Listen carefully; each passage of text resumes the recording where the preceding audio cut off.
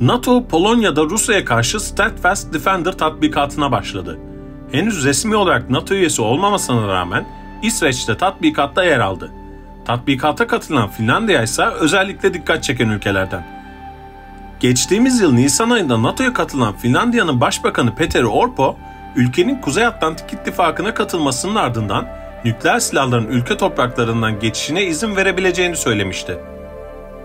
Finlandiya'nın NATO üyeliğine başvururken üyelik konusunda herhangi bir kısıtlama olmayacağına karar verildi.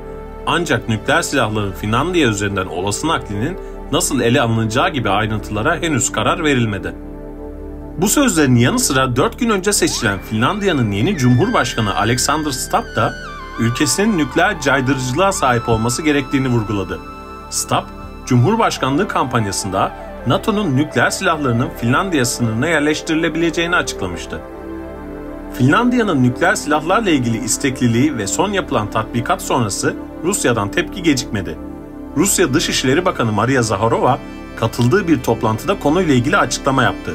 Zaharova, Avrupa'daki Amerika Birleşik Devletleri'ne ait nükleer varlığın artmasının tehlikelerine işaret etti. Avrupa'yı net sözlerle uyaran Zaharova, olası bir çatışma senaryosunda Avrupa topraklarının savaş alanı olacağını hatırlattı. Bunu anlamak için askeri stratejist olmaya da gerek yok.